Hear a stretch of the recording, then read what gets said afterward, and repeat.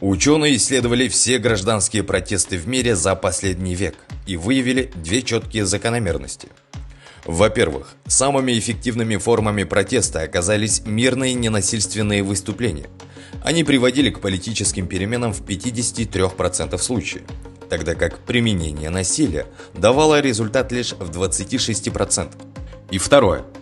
Чтобы мирный протест достиг цели, он должен собрать на улицах от 3 до 5% общего населения.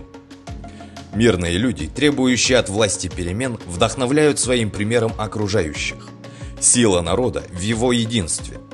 И оружие режима перед этим бессильно. Эта система подтверждена успехами мирных революций в Грузии, Армении, Алжире и Судане. По оценкам штаба в городах-миллионниках Алматы, Астана и Шимкенте можно собрать минимум по 1000 ячеек. В крупных региональных городах, таких как Актобе, Караганда и Тарас, движение ДВК способно организовать до 300 ячеек численностью до 1500 человек. Таким образом, в день митинга каждый член ячейки приведет за собой по 5 человек.